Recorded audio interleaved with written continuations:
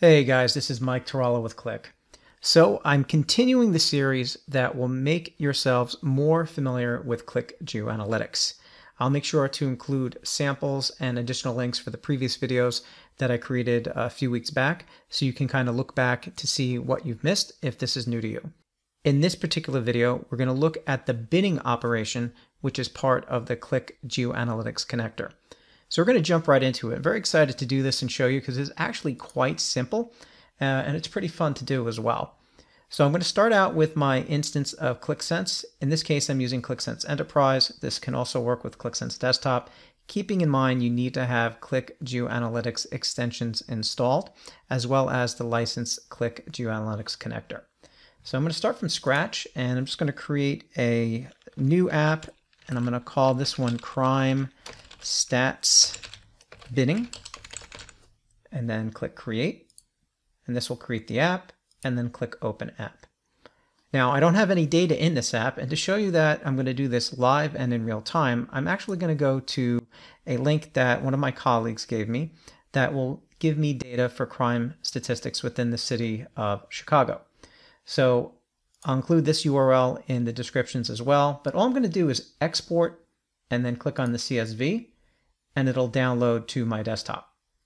Now, this is about a 45 megabyte file, which I already have available to me, but just wanted to show you that I'm not altering this file in any way. I'm taking it directly from this site. So now I'm going to add data from files and other sources, and I'm going to select shared files, and then I'm going to choose my data folder. Now, obviously, I'm not setting up these particular steps, you should know how to do this already, especially if you're going to be using Qlik Geoanalytics. These are some of the basics. This case, I have this file connection already set up to point to the location where my CSV file is. And there's the CSV for the crime data. So we're going to inspect this file. Now there's something to point out here is that this file contains latitude and longitude fields. When I click add data, we're actually going to profile and inspect this particular file, and it's actually going to create the coordinate point location uh, called latitude uh, underscore longitude, or in this case, I believe it's longitude underscore latitude. So it's actually going to create that field for us, and that's a field we're going to use. Okay, I'm not going to use the Insight Advisor for this step. What I'm going to do is just basically edit my sheet, and we're going to put a couple of stats down. So let's grab a KPI object and you'll see within the fields we have arrests, beat, block, case numbers, IDs, latitude, longitude. There's that point I was mentioning earlier, etc. So each ID is a particular crime case, if you will. So we're going to add a measure here and we're going to select ID and we're going to do a count of ID. So there's 183 individual cases that have been logged that have their own IDs. But these particular cases could occur at the same location. So we're going to use distinct locations within this as well. So I'm going to grab my longitude and latitude. I'm going to drop it right on top of the count, add as measure. And we're going to choose count, longitude, latitude. And then we're just going to expand this and go into the expression editor. And we're just going to insert distinct now this could also be done with the tools in the expression editor, but this makes it a little quicker. And we have 96,000 distinct locations. Okay, so 183,000 or so uh, individual cases created or incidents and 96,000 distinct locations where these incidents occurred. Okay, I'm not going to aesthetically change things, you know, labels and sheet styling. It's just going to take more time. Kind of defeats the purpose of the example. Okay, so we're going to take that and I'm just going to grab a bar chart. And we're going to add a dimension and we're going to look for the type of crime. In this case, we have primary type. And then the measure, we're going to do a count of the um, ID. Okay, and there's the crime types and the counts of those crimes. In this case here, let's also change the appearance, and make it a horizontal bar chart. Okay, so now we have our two KPIs. And just for argument's sake, I'm going to grab the map object. Now I already have the Qlik Geoanalytics maps extensions installed. So I'm just going to grab my map object. And then I'm going to add a point layer. Okay, I'm going through this fast. This is something you shouldn't be following. This is just to show you what I'm building. I'll include the sample app. When I get to the binning part, I will slow down a little bit and explain what's going to happen. So for the dimension here, we're just going to add the individual ID. And then for the location and the size, we're just going to choose the longitude and latitude. In this case here, we just delete the aggregation. Okay, so there are all the crimes that occurred within the Chicago uh, area. Now, obviously, we could use a density map, and you've seen me do that in other examples uh, in other videos that we have. Now, what I'd like to do is actually create a bin, or in other words, a representation that kind of puts boundaries around the number of points in a particular area. Okay, so instead of looking at overlapping dots, we can choose a bin in the form of, let's say, a square or a hexagon, and then color it by the number of points or incidents in that particular area. Okay, and then in another video, then what we can do is maybe drill into that bin and then expose the individual points in that area like a drill down. So to keep these videos at a decent size, you know, we'll cover one part at a time. Okay, so I'm just going to delete this bubble layer. And we're going to now use the operation for binning. And this is done within the Qlik GeoAnalytics connector. Okay, so what I'm going to do here is jump over to my data load editor. Okay, and you can see the auto-generated section. This is the particular section that's been generated when we added the CSV file. Now I'm just going to unlock it because I just want to grab a piece of information out of here. And that information is going to be the name of the table alias that was created, crimes 2018. So I'm just copying that. That's all I needed from the existing data load. So in other words, we have data that's been loaded. We're going to reference this data now by using this table alias. I'm going to create a new tab, and we're going to call this tab binning. And then from my connections list, which I've already created the connection, in this case, it's not that difficult to do. You just select create new connection and then you select the uh, Qlik GeoAnalytics connector.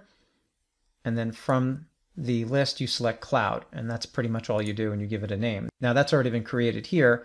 So I'm just going to click select data. And if you're watching some of the other videos, you saw a couple of examples uh, using some of these operations, such as for geocoding, we use the address point lookup. Uh, we also use the closest operator to get the distance. In this example here, we're just going to select binning. Okay, here, the shape of the bin that you want, a hexagon or a rectangle. In this case, I like the hexagon binning. And then these two parameters basically denote the size of the hexagon or rectangle that's going to encompass the individual dots or boundaries. Now, if you want more technical information, you can click on this help and it'll explain what it is. But for this example, I'm just going to use some values that I know worked well for my example. Might require a little trial and error for you. So the side length of the bins, I'm going to use first uh, 0.03, and then we're going to rerun this again, and I'm going to try 0.01. I'm going to show you the difference. Uh, and bin width height ratio 1.5, I'm going to leave that alone. The name of the data set that's going to come back, in this case, we can just leave it as data set. And then the type, meaning the uh, geometry and the ID that it's going to be coming from a certain table that we've already loaded. So in this case, we're going to select loaded table. And if you remember, the name of the table was Crimes 2018. So that's the data that's already been loaded. And then we just specify what we want to reference for these particular bins. So we have an ID for each individual incident, and then the geometry. In this case, the geometry, if you remember, was latitude underscore longitude. So I'm just going to go and grab that directly from my KPI object. Oops. And I'm just going to grab this field, longitude, latitude. This is basically the point that was generated. So I'm going to go back to Qlik GeoAnalytics connector, and I'm just going to paste in that particular field. Okay, the geometry type, as you might recall from another video, anything that is put together or concatenated, such as longitude, latitude, the way we represented, that is the actual coordinate point. So that's the geometry type. If it was a separate longitude, and a separate latitude field, then you would choose latitude and longitude point. In this case here, we're using that coordinate. Okay, that's all we need here. So we just click next, click insert script, and that's it. You don't have to touch anything. Now, just a little word of advice. If you made a mistake, you can control A, highlight everything, delete, then reselect the connector and it will remember your parameters. Just make sure you keep the data load editor screen open in this instance here, or these parameters will be removed. Insert script, and then we click load data. So this is basically going to take care of everything that you need to know to create the center point of where the boundary will exist, as well as the coordinates to create the polygons um, that will draw out the hexagon. Okay, so I'll give you an example of what I mean. I'm going to go back to our canvas. And just for an example, let's grab a table and let's add a dimension. And I'm going to show you what fields have come back. You're going to see a number of fields that come back with the um, boundaries. That's the HH and HH0. Not sure exactly where those names come from. I didn't really talk to the products team to understand the naming convention. All I know is I just need these two fields here. So here's the center point, and you can see it's just basically a longitude and a latitude coordinate. That's basically denotes the center of the hexagon um, shape that's going to be drawn. And then if we add another column, and I add this one right here without the center point, the, that's the actual points that are going to be drawn that basically draw out the hexagon lines. Okay, it's just a little background information so you can understand what those points do. So when you add that to what's called an area layer, it's basically going to draw out those boundaries.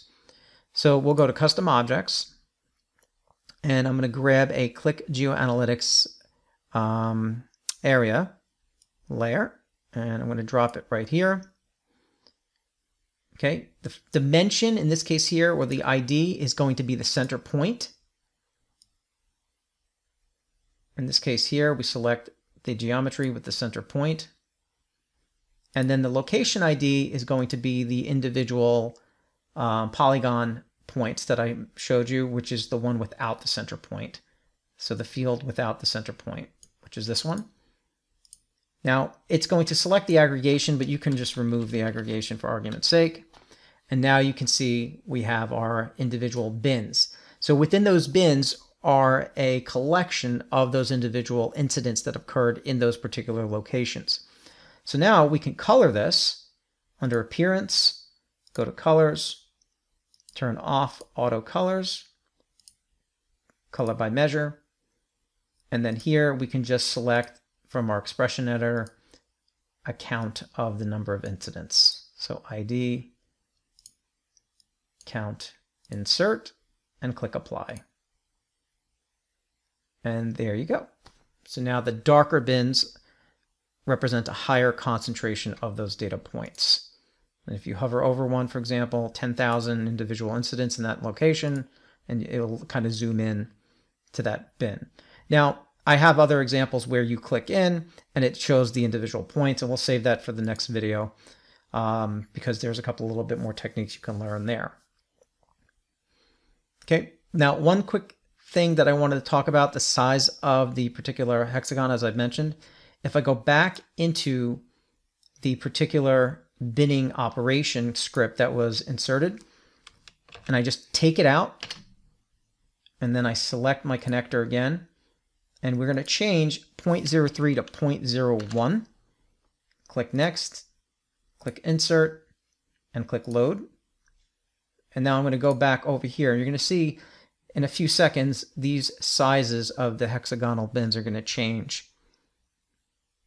So that's the different type of uh, radius or edges for the width and the height. Um, as I mentioned, there's more detail within the help that explains that, but it all depends on how you want to collect the number of individual incidents that occur in a particular boundary or range that denotes what sizes you want to use. Okay, so now you can see you have a little bit more of a distinct gradient coloring where other incidents have been spread out based off of the size of the bins.